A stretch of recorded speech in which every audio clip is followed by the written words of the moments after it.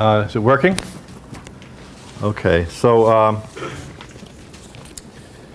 uh, so I want to state four problems that are pretty precise, although my presentation may not be very precise. We may have to discuss it more.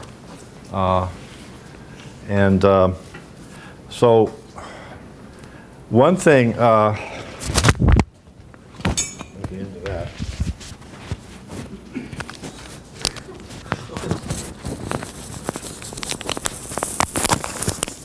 So, so, okay? So, uh, so this meeting is using a lot the language of uh, field theories, and I wanted to concentrate on two-dimensional field theories. And uh, there's always been this um, mixing of uh, language that often confused me and puzzled me. Uh, and I, so I'm going to start by making a comment about that. So, um, so two-dimensional field theories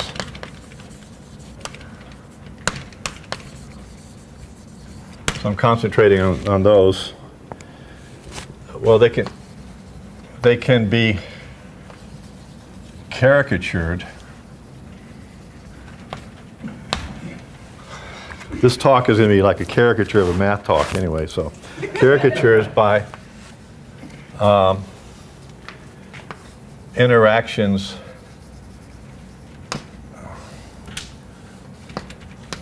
Uh, I'll just put of here, strings.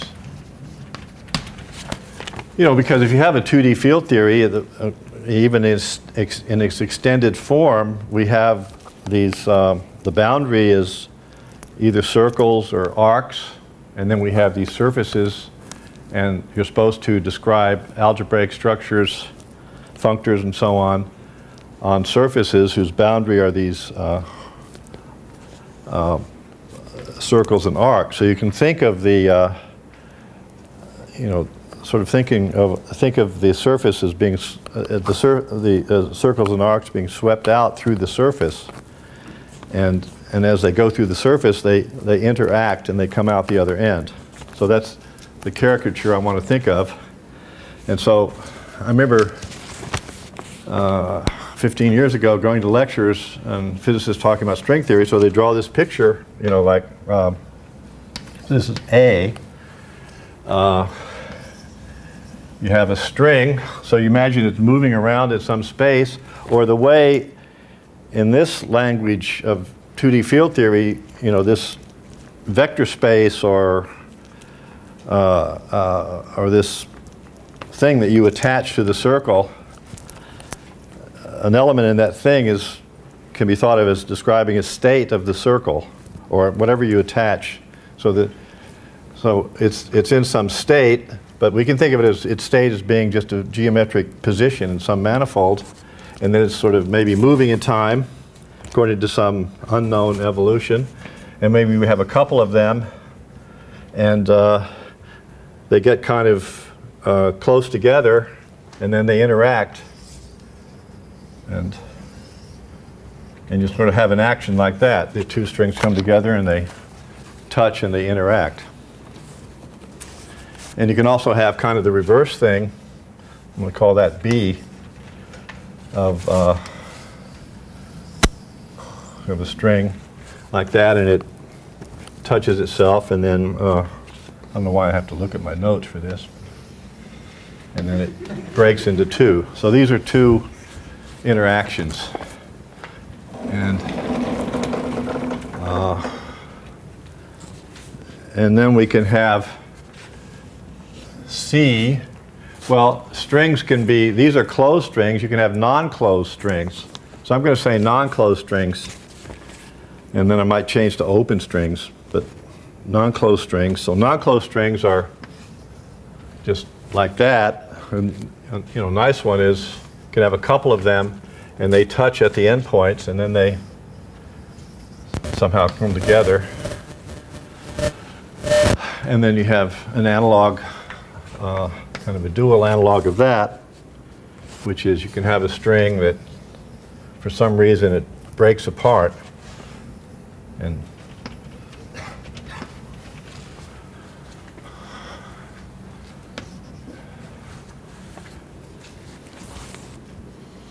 And then, but there are, there are many more.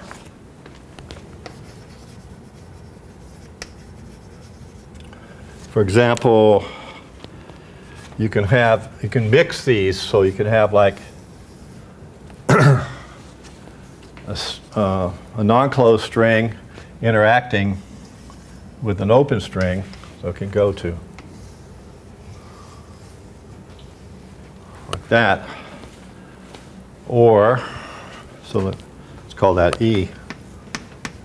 And then F, you can have sort of, um, this is, a, this is a good one here. Uh, you can have a string like that that starts to touch itself and then gives birth to, so you have a non-closed string giving birth to a closed string and another non-closed string. And there, you know, and many more. Okay, so I want to make some comments about some of these in turn. So for example, let's talk about A, because it got the names I want to write up here. So this, some comments about A.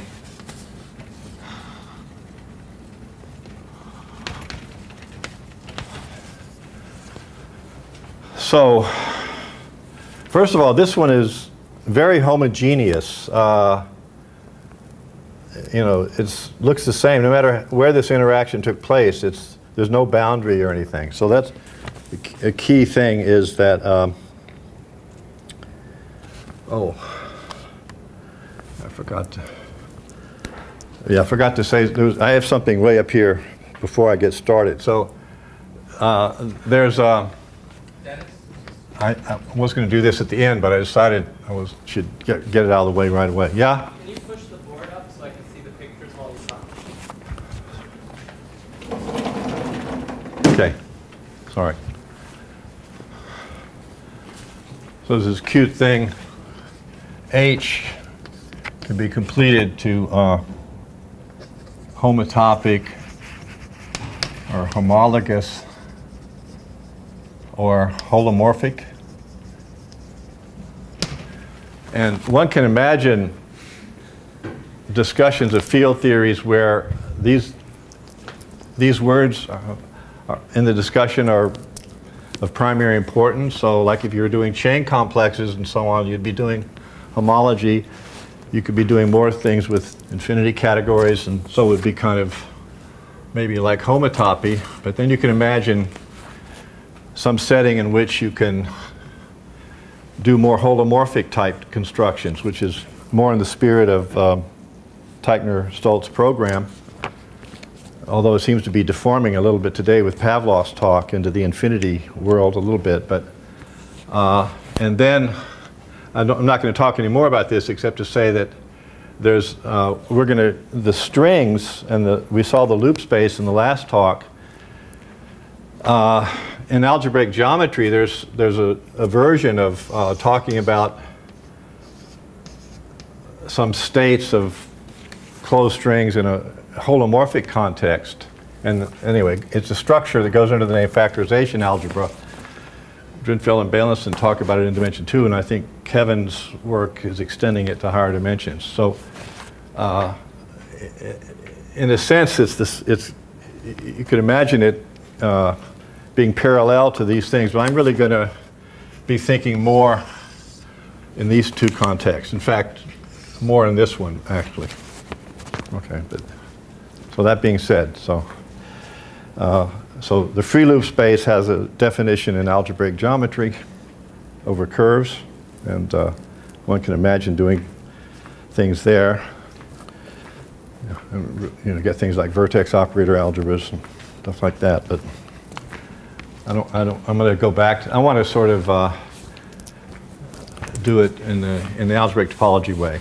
So, yeah, so let me make some comments on A. So I'm going to pull this down, okay, for a minute. I'll open it up again and talk about B, and C, and D, okay? The comments on A, so the first thing is that, I'll call this is that um, it has no boundary. See, there's no boundary. This is no boundary, no boundary. The interaction has no boundary. And this is kind of an algebra. Two things combined to give something, that's an algebra. And uh, the algebra is, it, it's, it's not associative algebra, it satisfies Jacobi. This operation is related really to a Lie algebra structure. Uh, you might think, how could it satisfy Jacobi? Because Jacobi is like a three-term sum equals zero. This is sort of a geometric thing. How can it give zero? Three geometric pieces giving zero. Well, the point is that when you have to interact three strings to describe Jacobi. One and two interact, right? So one and two combine to give the combined thing. And then you take a third string and let it interact. The third string could interact with this part or with this part. So that one term in Jacobi breaks up into two terms. And then you cyclically permute, so you get six terms, and they cancel in pairs. So you should draw those pictures and try to see why that might be true. And once you make this cartoon into something concrete. Okay. Uh, and so one gets the Lie algebra, and it's part of uh, this structure is not literally part of what uh, uh, Daniel stated last time of Lurie's theorem because he didn't quite have the circle action formulated, but you can formulate it and get an equivariant operation out of what, what you were describing from Lurie's theorem. And then that, this would be the equivariant pair of pants uh, operation, and it's a Lie algebra. And by the very nature of Lurie's theorem, uh, say if, if these strings are moving in a manifold, so anyway, so uh, yeah, let me give a little kind of de definition of, so string topology is what I mean by, you know, imagine all conceivable operations like this where you interpret them inside an ambient manifold and you interpret the states as being some kind of families of strings and you perform various classical intersection procedures to make these operations make sense. So string topology means these caricature operations interpreted in algebraic topology. Means the these means these pictures interpreted via algebraic topology.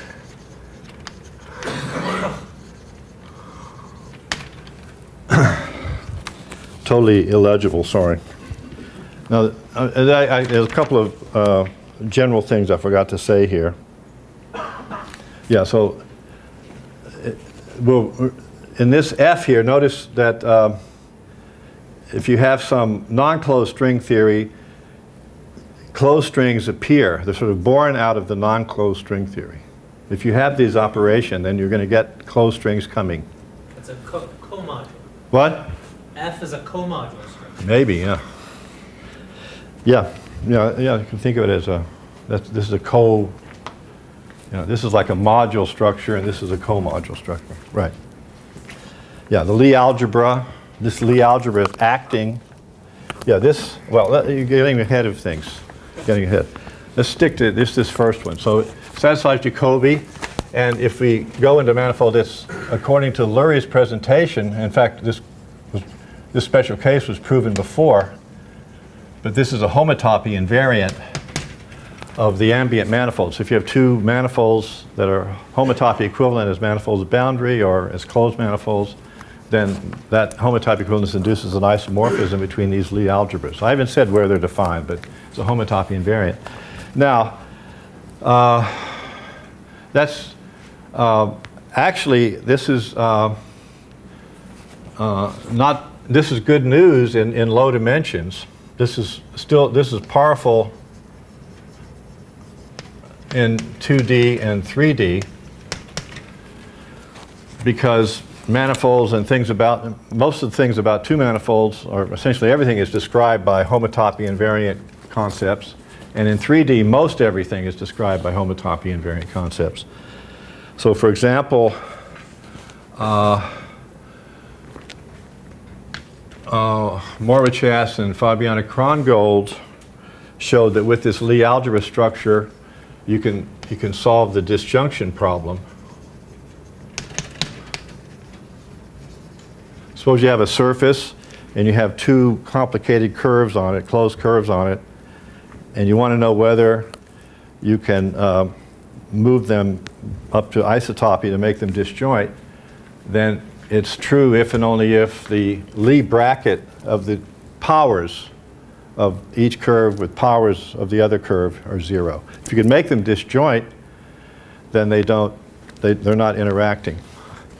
Yeah, so on a surface, you don't have to imagine this happening dynamically. On a surface, curves automatically are interacting or not because they're already transversely intersecting. And so this is, this is a, a non-trivial theorem.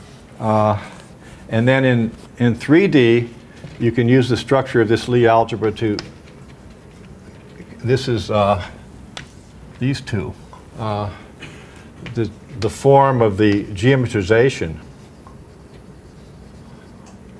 so we have this geometrization theorem now that three manifolds have this nice decomposition into certain kinds of pieces, geometric, and the form of that decomposition, uh, whether how many connected sums and whether you have hyperbolic, and then when you take the primes and you break them into their hyperbolic pieces and Seifert fibered pieces, you can read that off from the structure of this Lie algebra.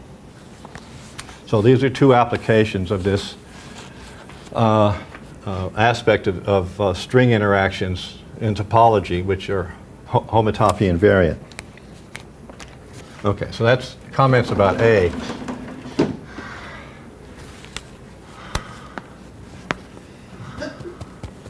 Right, now let me discuss B. Now th this, this is, two of the problems are about what's happening now. Uh, B has a boundary.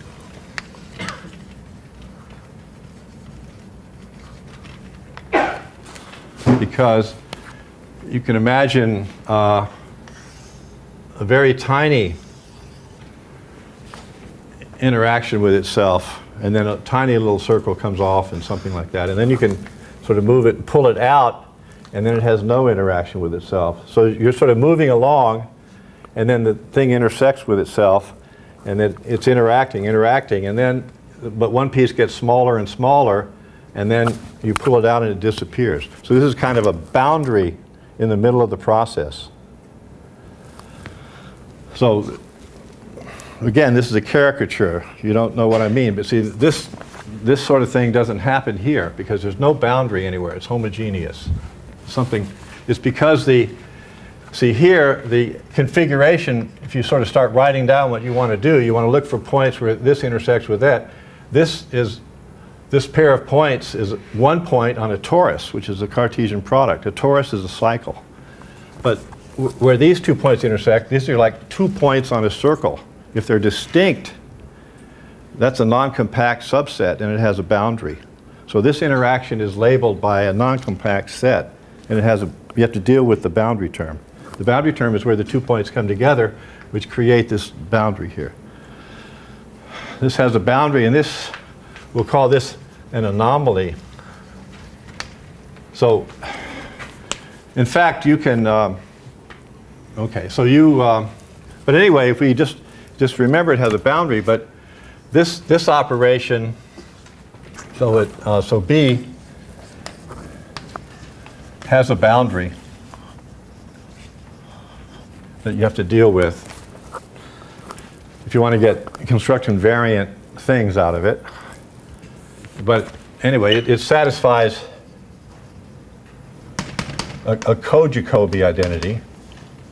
It's sort of just dual to the other thing. And uh,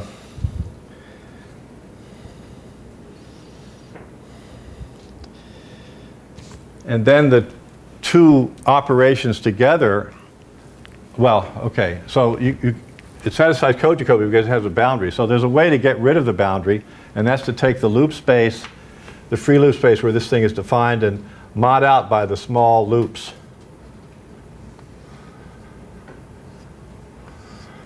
Now, I'm, uh, and then, and then you, you sort of algebraically re- you repress the boundary, and then it becomes well-defined, and then it defined, defined on the homology of the relative, the loop space modulo the fixed points of the circle action, and then it satisfies co-Jacobi. And then, in fact, you can, uh, the two operations, the Jacobi and the co-Jacobi operations, interact nicely, and they satisfy this five-term identity due to Drinfeld, called Lie bialgebra. And they also intersect, interact uh, to satisfy another identity called the involutive identity. And these four identities uh, correspond to studying uh,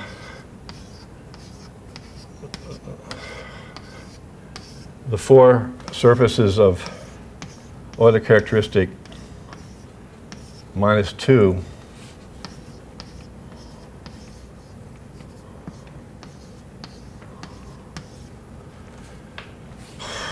Uh,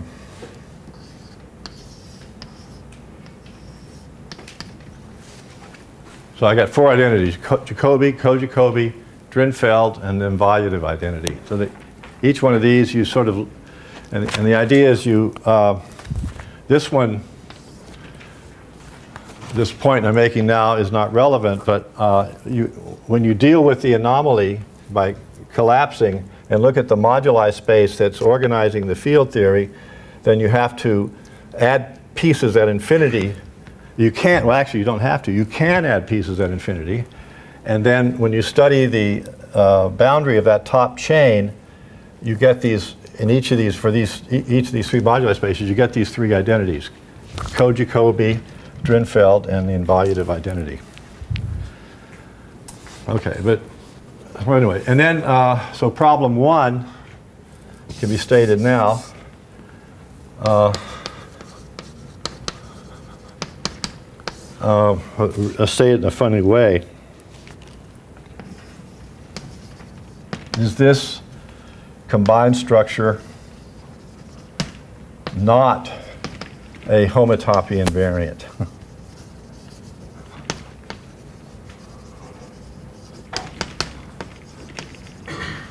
And somebody may have proved it is. I don't know. I'm not totally current on every version of the new, all the new theories that are being developed. So the combined structure, the name of it is, you know, kind of a fancy structure. It's an involutive Lie algebra. So if you just force A and B to be defined. A is already cooperating and defined. Make B be well defined. And, and I must say that for surfaces without the involutive, this was done in the 80s by uh, Goldman and Turaev. And we, we uh, extended it to, to all manifolds, closed or not, all orientable manifolds.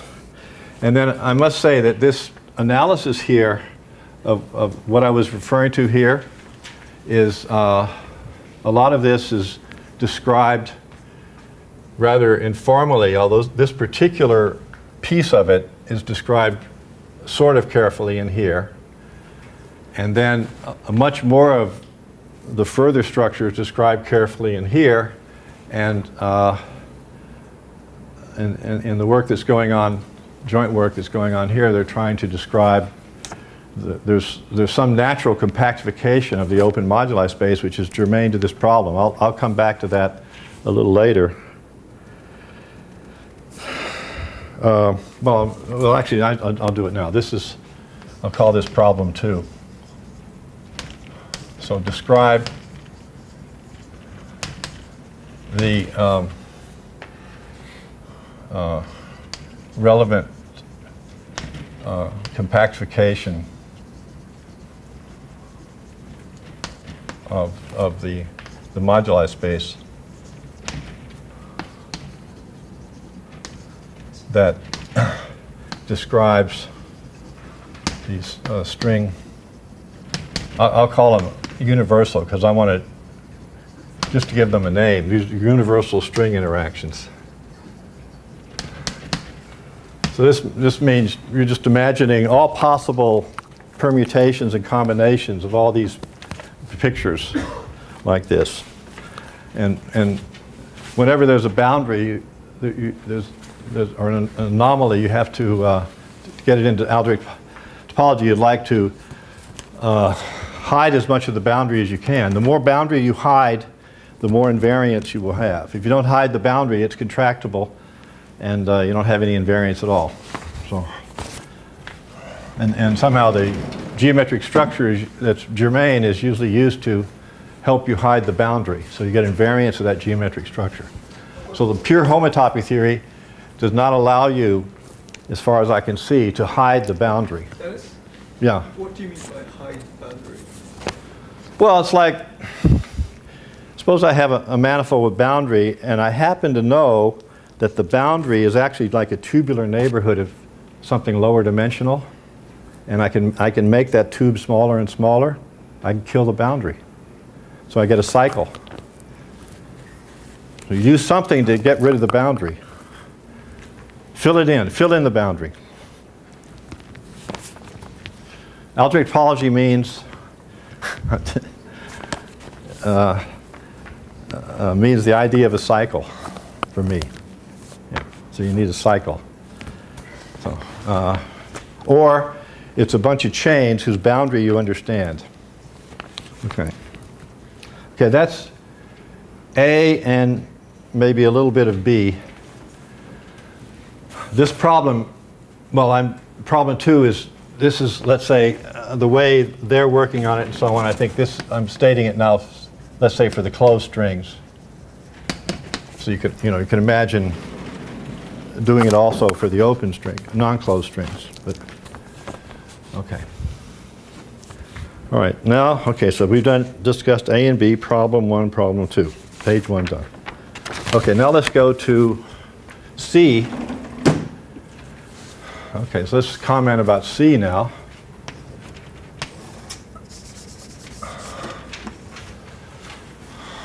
Well,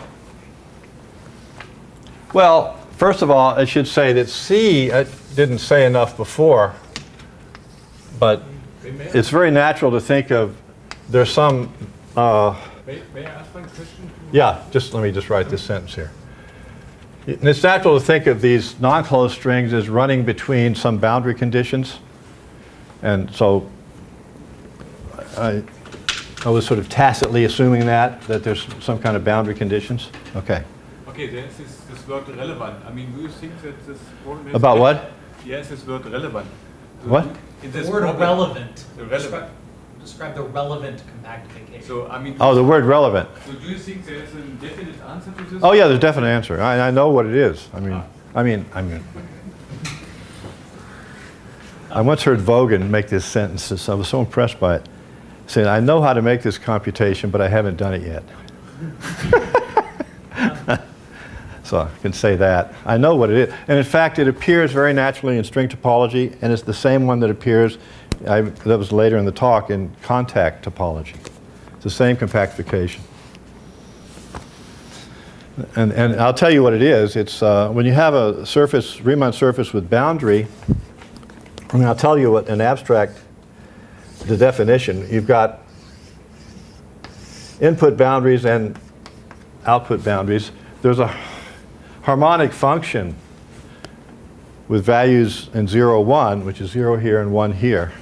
Now I want to take limits of this object where the Riemann surfaces say converging in the usual sense of converging as Riemann surfaces, like in hyperbolic geometry or Deligne-Mumford compactification or hyperbolic geometry, and the harmonic function is converging too.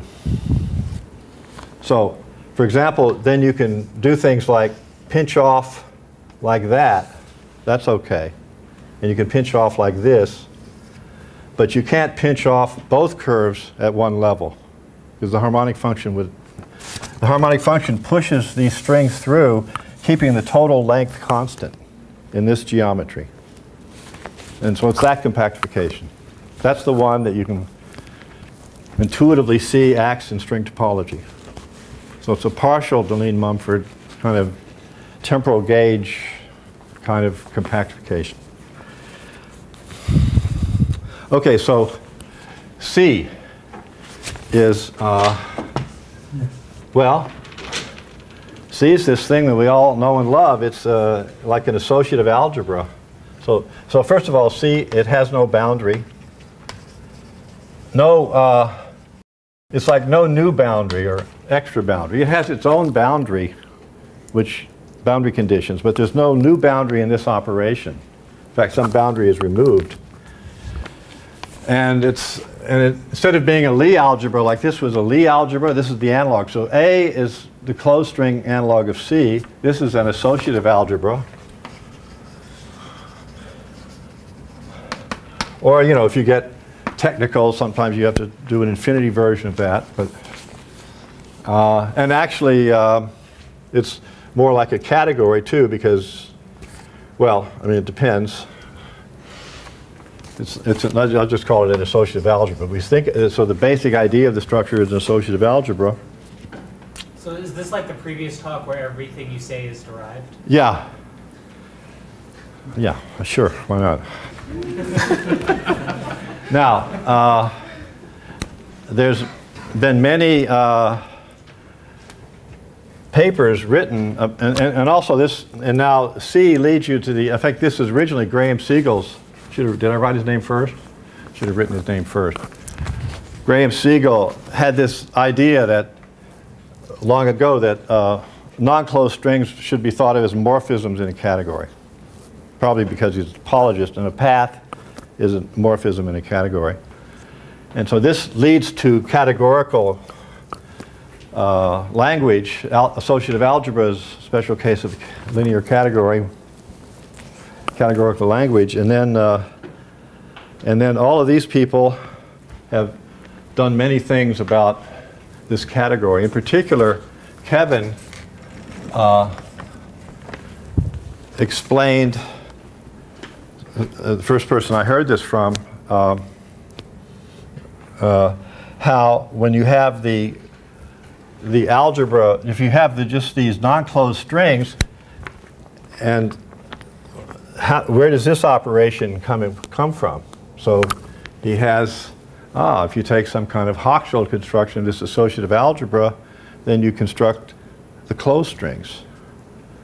So Kevin's idea is that you take this associative algebra and form some kind of Hochschild construction, and and if it's like if, if you do the equivariant, the, use the Connes B model and so on, B operator, and do equivariant, there's a Lie algebra there.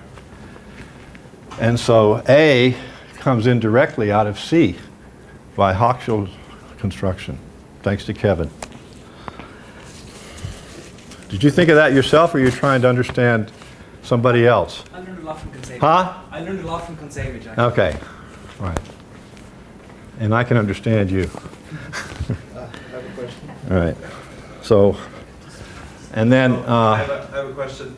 yes, The co-bracket is the one where you have to mod out by the, yeah, the co-bracket has the anomaly. right, does that doesn't, does that have any interpretation in terms of this, I guess, Costello, Well, no, as far as I know, this is work to be done. Yeah, this is work to be done. I think that, well, I think that things along the line you were doing are understood very well. We haven't really gotten to there, and, uh, but, I mean, so, well, this is, let's see. Let's say I don't know. I, I have some things I could say, but they're just, they're not, I don't master it. Uh,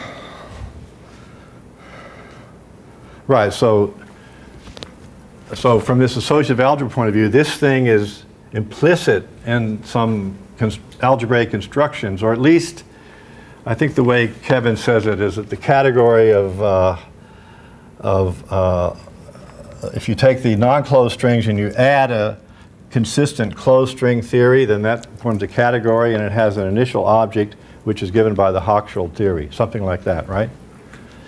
So the, the construction is the universal one, consistent with the closed strings, but there could be some collapsing of it, yeah. Uh, Yeah, see, I have another list of names here. Lurie. Kontsevich.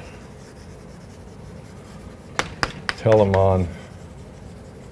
And Costello. This is, it's sort of related to your question. I meant to say is that um, there's this idea of, of, of uh, there's, there's a solved problem, which is the like problem. Problem two prime has been solved, where if you you put yourself in, in the appropriate setting, uh, and you assume that the equivariance can be uh, of the circle action can be deformed to the identity, then there's a bunch of works showing that the uh, the theory extends to the full compactification, the Deligne-Mumford compactification.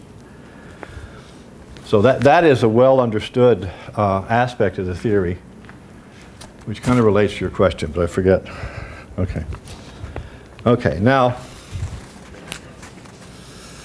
uh, this uh, D, and then we have, okay, so we have this, and then this leads to Hochschild,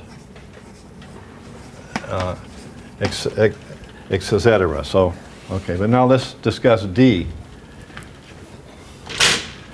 Actually, I've always wondered about this. Um, you see, this is like category. Is you know, this leads you to the idea of category, and this is some kind of co-category. Do you guys talk about co-categories? That's where you have a morphism and you factor it into, into morphisms and somehow organize that. That's exactly what this is doing. So D is some kind of co-algebra, just like this is a Lie algebra and this is a co-Lie algebra. This is some kind of co. So let's discuss D. And it's there's a there's a co-category set of things here. Um, maybe you know sometimes you don't have to say the co-word if you have some duality, because then you can just use the duality to convert an algebra into a co-algebra. So maybe that's why you haven't seen it you've got some duality. But um, so uh, so D is co-associative. It's it's like a co-algebra again. It's co-associative. So like this was Lie algebra. This is Lie co-algebra. This is associative algebra and associative co-algebra. But it has boundary.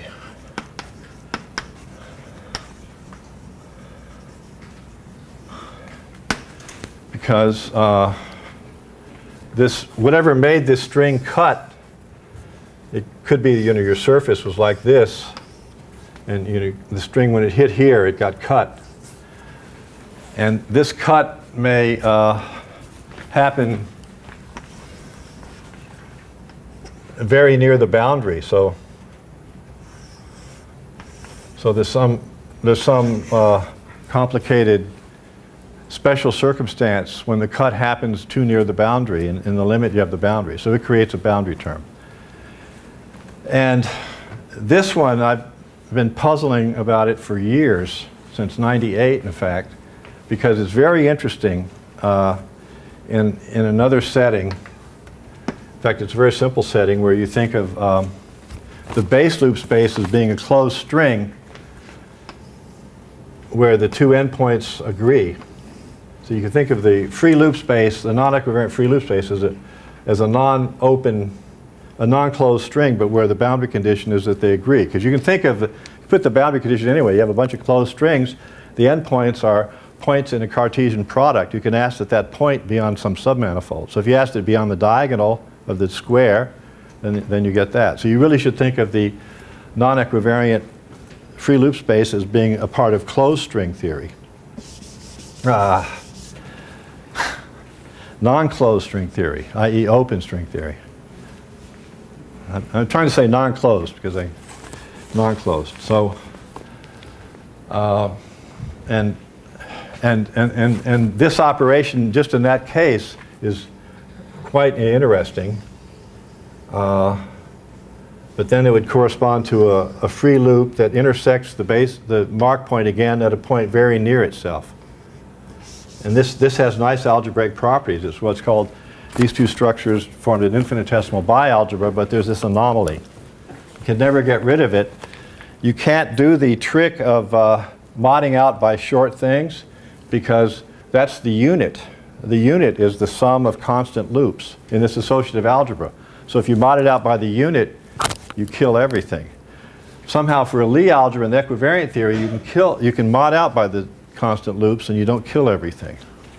So you can't, you have to deal with it. So after a long interlude, the anomaly of D has been treated, but it calls for a whole new change of uh, perspective. And uh, where did I write Somnath's name? Where's his name?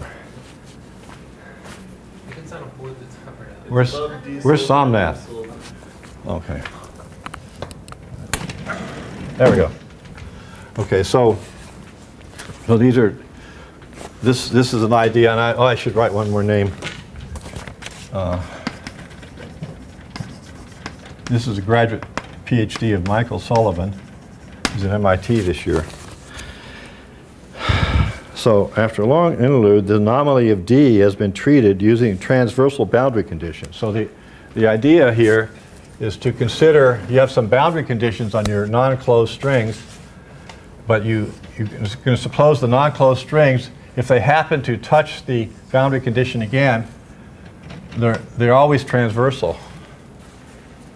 So this is now not universal because I'm changing the space of strings to consider only those that satisfy this transversality condition. And I'm going to do these, these kind of string topology operations, but in these new space of strings. So you take, you take all the strings, you just cut out the sort of infinite but finite codimension submanifolds of the free loop space that you don't like. Just cut them out. And you work in the complement. Who's going to stop me? The mathematicians.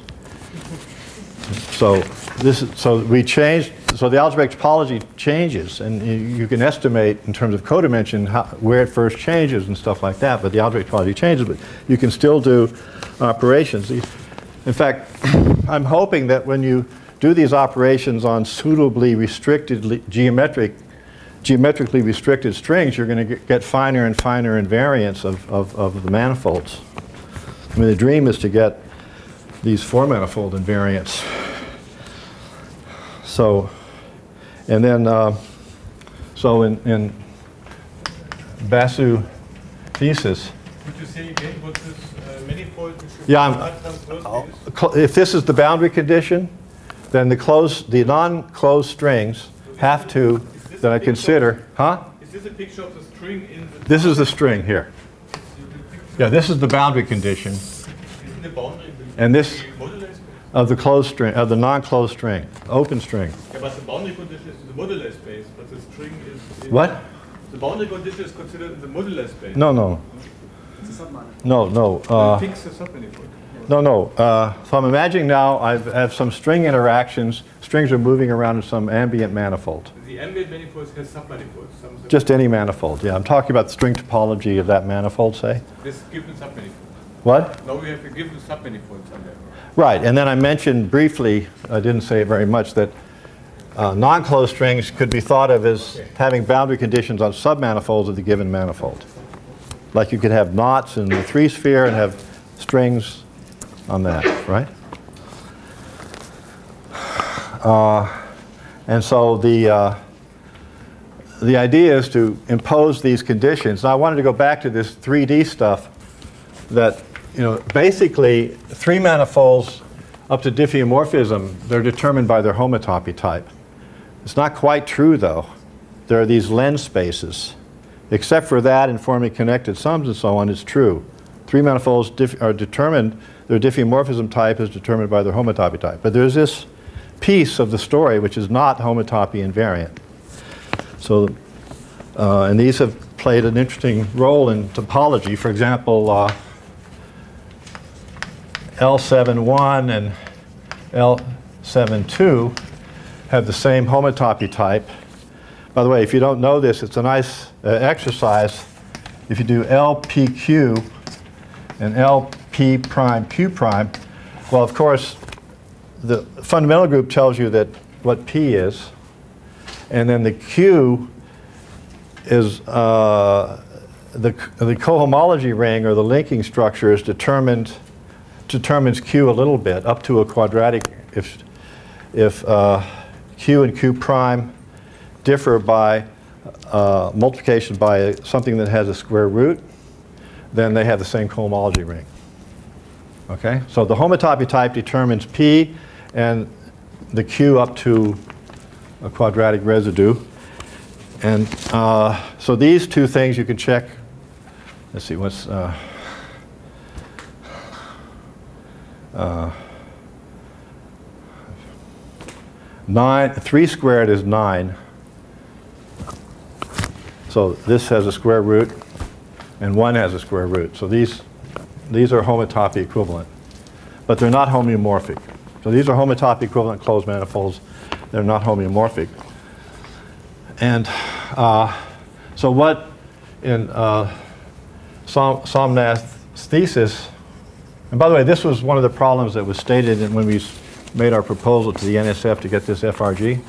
This is the- partly, the half of this conference is like the last FRG conference, and the other half is a generalization, I guess.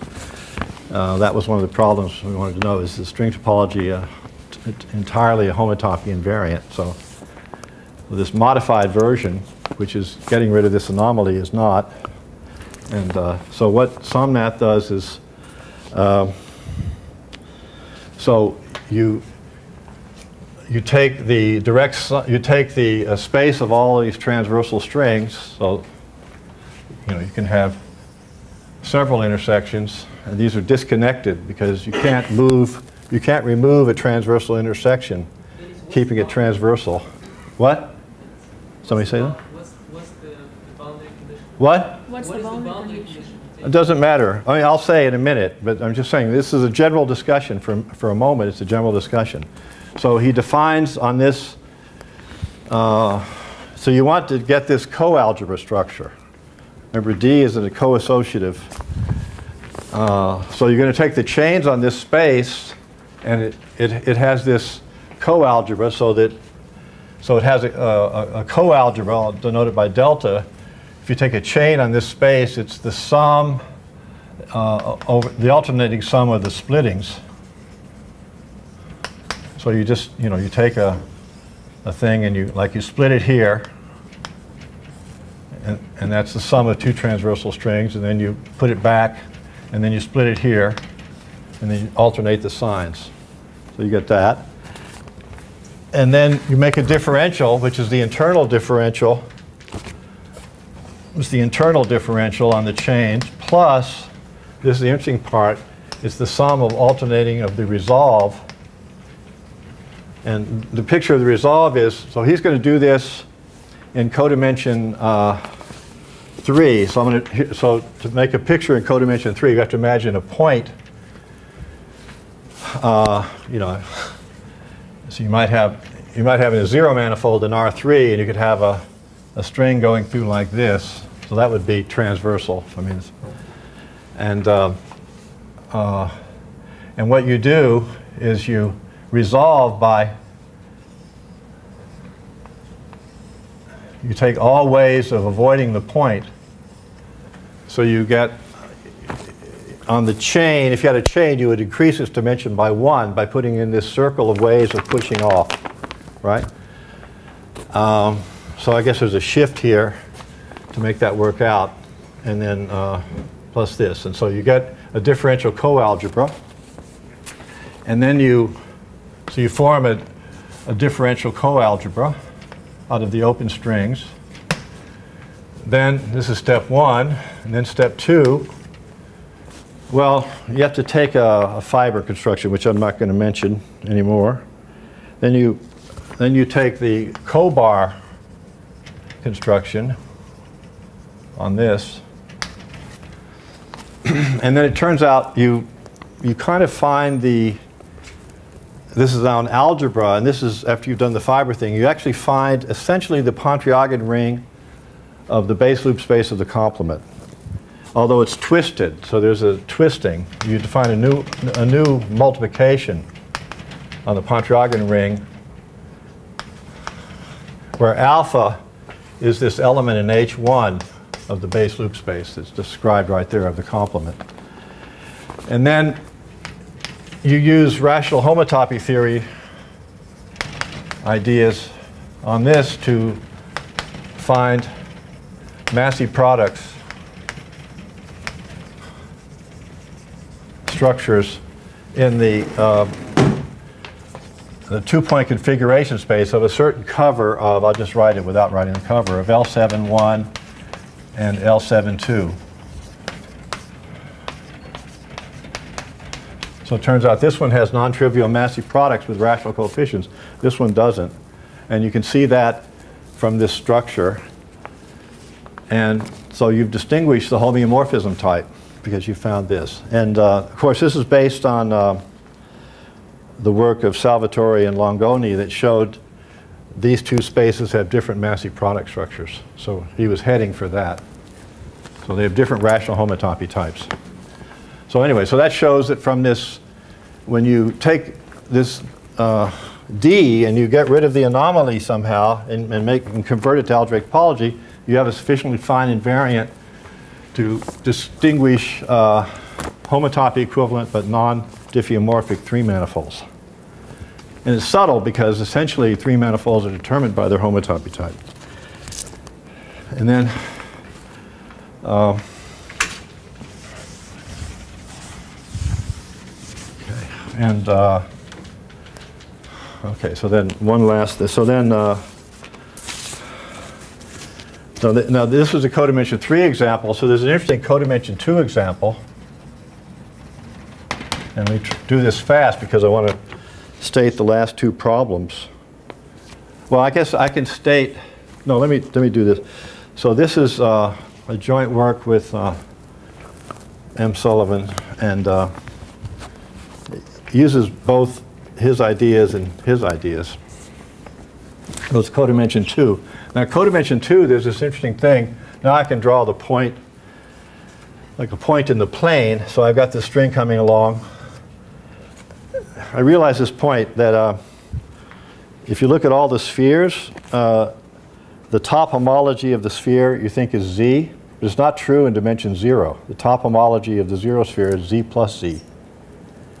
And this is coming in right here. So in codimension 2, actually when you resolve, there's actually a two-dimensional space of ways of resolving. And in this theory, I want to use this one. So you actually take the plus sign, which is very interesting.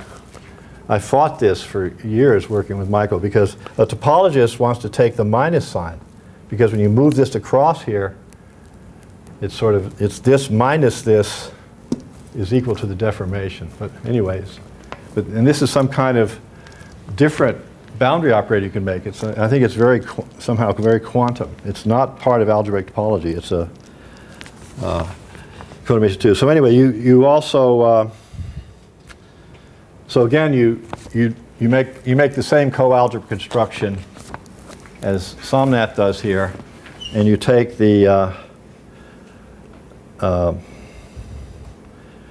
the cobar, so you take the same differential algebra as but with this notion of resolution, so you get a, a differential graded coalgebra, and then you take the cobar, and then uh, which is now you get an algebra. It doesn't have a unit because of this twisting. Um, and you get the twisted group ring of the complement of, of oh no, now I'm going to apply this to knots. Sorry, I didn't say what I was applying it to. Applying it to knots in S3. And um, then, uh, and there, I'm quickly describing two papers. This is paper one. Then we take the, uh, we add a unit, and then we put the meridian in the center. You, you add a relation. Anyway, so it's just an algebraic construction out of this differential coalgebra, which is D. And then this is isomorphic to what's called the Lenny-Ng chord algebra. this has a certain story. But anyway, this is something produced by Lenny Ng. Uh, he just took the knot complement and took the group ring and the fun- fundamental group and then did some constructions with it. And so we're getting this chord algebra out of uh, sort of a functorial operation in the, in the string theory. And he computed with this thing and he could distinguish all knots up to 11 crossings with this chord algebra. And on the other hand, this chord algebra is isomorphic to the degree zero uh, Legendrian knot homology, which is constructed by looking at the cotangent bundle of the sphere and the conormal Lagrangian submanifold and making and then restricting to the contact manifold the sphere bundle and Legendrian piece of the Lagrangian and then making holomorphic curve constructions and so on and so on. And, uh, and it turns out the degree zero part of that is isomorphic to this Ng-chord algebra, which is also constructed from the string topology. So it, it's a powerful knot invariant. And then just very quickly, I'll say the, the other one is we use the Costello idea. Remember, the Costello idea was that somehow the open strings determine the Lie algebra and closed strings. And so if you apply that to, uh, again, to this type of uh, algebra, it's actually, well, anyway, use the Costello idea. You apply a sort of a cyclic bar construction to um, uh, actually the, we, we use this algebra structure and resolve. And then one actually finds the, uh, uh, the Lie algebra of the complement. And then by uh, the Chas-Siddhartha argument, one can read off the um, form of the geometric decomposition of the complement. So you can read off whether a knot has a hyperbolic volume or not, or in other words, it has a geometric decomposition. So you- one can read that off by applying the Hochschild to this combined structure. Now we use these two things together. Okay, so that leads me to problem three then.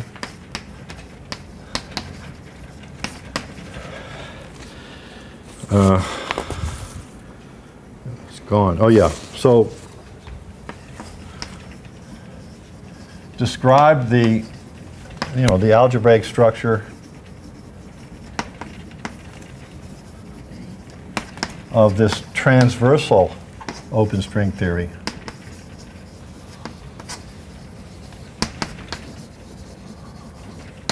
See, because you can get rid of this anomaly and, you know, you, you have a different, the rules are, the rules are different. So this is not universal string topology because you're restricting the spaces of strings. And then problem four,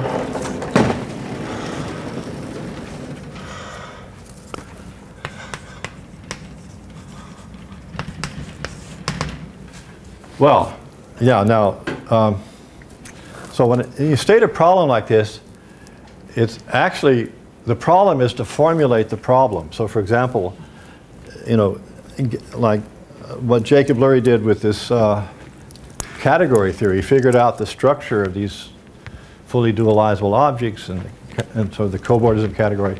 You want to just, I mean, suppose you could figure out that statement before you even proved it. I mean, already that would be a nice thing to do. So that the analog of that, the problem is to sort of describe what these structures are or what they might be as, as a conjecture. And problem four is like that too. It turns out uh, there are many instances, this thing I just mentioned, that um, uh, the Ng chord algebra, what happened to it? The Ng chord algebra, which is something you get out of uh, looking at the cotangent bundle to S3 and the conormal Lagrangian submanifold, and then looking at boundary value problems of J holomorphic curves. So it seems that uh, there's a very general situation here where uh, if you take all of the possible constructions, it, seems like this, this uh, string theory is, this, this kind of string theory is, is sort of some kind of real analog of of J-holomorphic curves. And, and, and, and when you study not just closed symplectic manifolds, but, but open uh, symplectic manifolds with contact boundary, and look at the, and look at the structure near the boundary, and look at the J-holomorphic curves there, then that has a lot of structure, and the compactification is almost the same as the one I was referring to here. There's another little feature, because in that case, there's a, a, a- harmonic function which is super, there's a function which is super harmonic that has to be preserved. So you can still have minimum, but no maximum. So you, the compactification, so there's some little balls, you have to get rid of those little disks because they give you these uh, curvature terms or weak, like e- weak algebra structures. So you have to sort of, and you use the you use the symplectic filling of the contact manifold to get rid of those. And then there's sort of a conjecture that after you do that, the structure you get should be equivalent to this structure. But, you know, I don't know the analog of this transversal uh, open-closed string theory in the symplectic story. It should be there because you use it to get this thing in that case. So the problem four is to formulate, even to formulate. Don't worry about defining all of string topology and all of symplectic contact J-holomorphic curve geometry, but formulate conjectures relating the uh, naive, I call it the naive real analog, right? There's string, string interactions, this string interactions sort of naively interpreted in terms of algebraic topology and the uh, uh, the J-holomorphic curves. I haven't said in this talk what this means, but it doesn't matter. It's a, a complex curve. Uh, uh, and I, but I was thinking of some, checking some point. I was when I was thinking about this lecture. Uh, in this, it helps. It's not really necessary, but it really helps me when I know the manifold's orientable, and. Uh, but Poincare duality is really the main thing, naive Poincare duality. And in this uh, J-holomorphic curve story, it makes sense anytime you have, starts making sense anytime you have a manifold that has an almost complex structure, a J operator. Then you can consider maps of a surface in that commute with J. Those are called J-holomorphic curves. But in fact, you don't really have a theory until you suppose the manifold is symplectic. So I'm wondering, is symplectic the playing the role of Poincare duality in that context? That's the question I'm asking. Uh, anyway, so somehow this is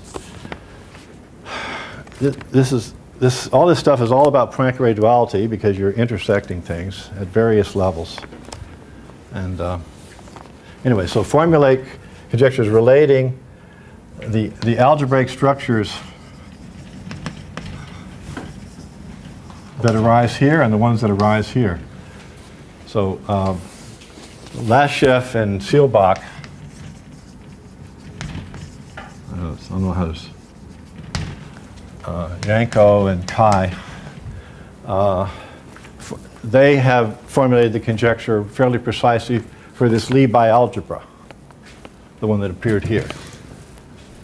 This Lie bialgebra can be formulated in symplectic topology, and uh, they've conjectured they're equal. So the, the idea is that you have all this stuff you can do for symplectic and contact manifolds, but if we have an ordinary manifold, it has its cotangent bundle and a cotangent sphere bundle, which is a contact manifold, symplectic manifold pair. And so you can restrict the symplectic structure discussion to that, and then those structures, presumably, which are defined by PDEs, are equivalent to the structures you, that you can define by this naive algebraic topology. So those are the four problems, and that's the end of my talk. Thank you.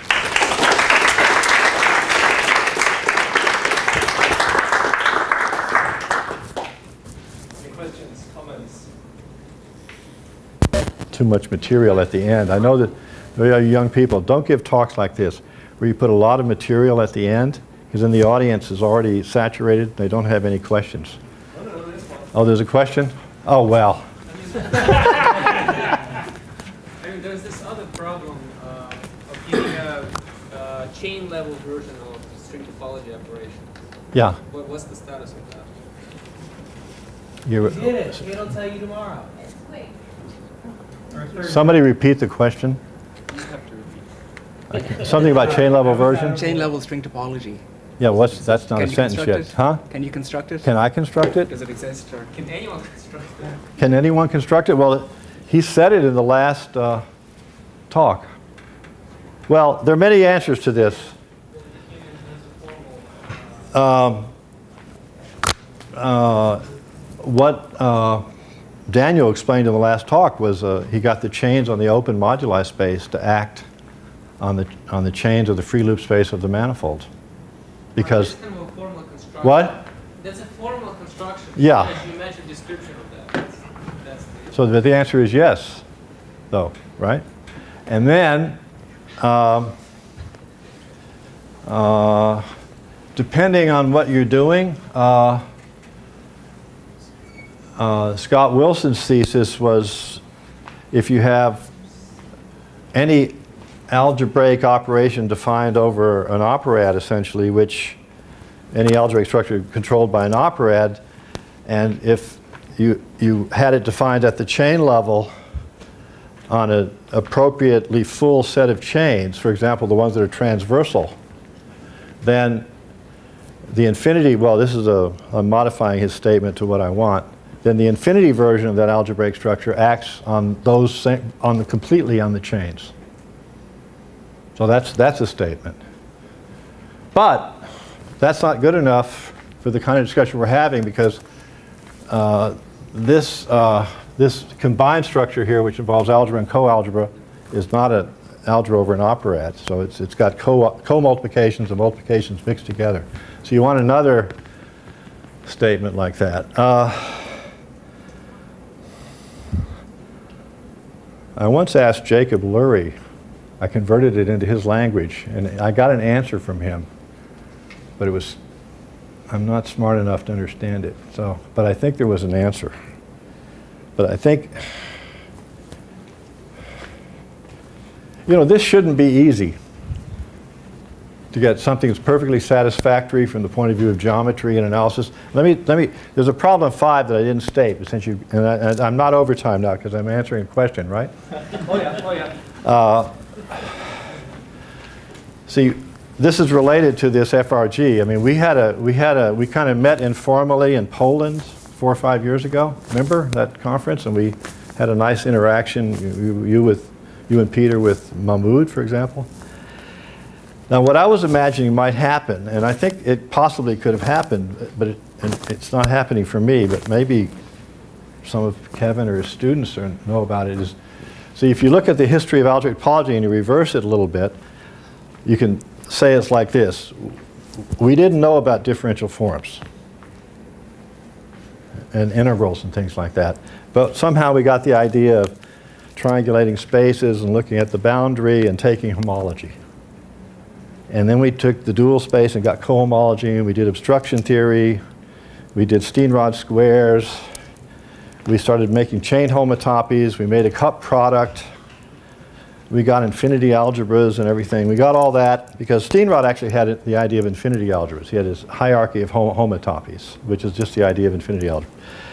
And then suddenly somebody came along and said, gee, if you make these uh, cochains, make these simplices really tiny, there's this Grassmann algebra, and there are things which are called differential forms, an exterior D. And there's this beautiful graded commutative differential algebra which models this algebraic topology.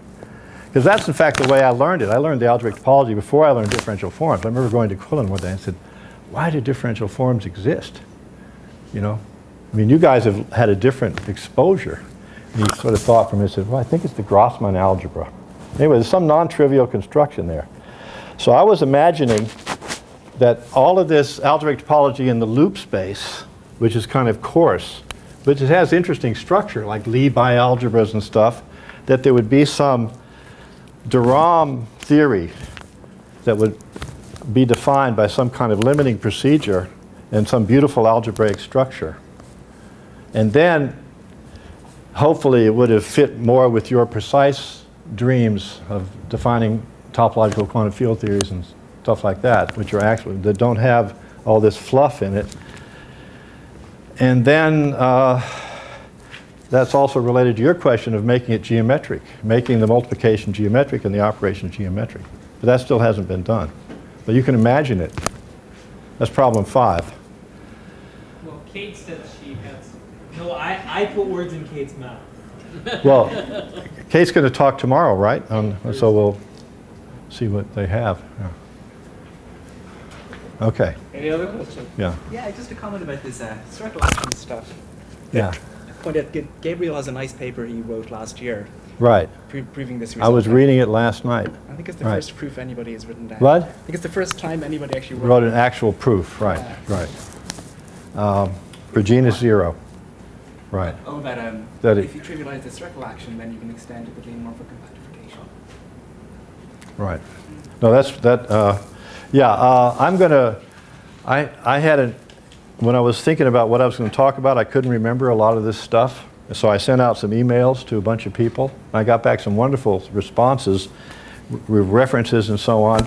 So I'm going to make all that available on, with these papers, and then you can just download it. And Gabriel's paper's there, and, you know, some of your papers, some of Jacob's papers, and Teleman's papers, and uh, uh, it makes a, and the, and the emails make a sort of guide through these papers. So you can read the emails and then start reading the papers. And it, I've been doing that for the last 48 hours, and I just totally filled my head with information, and then decided I couldn't talk about it, except write your names down. So that's what I did.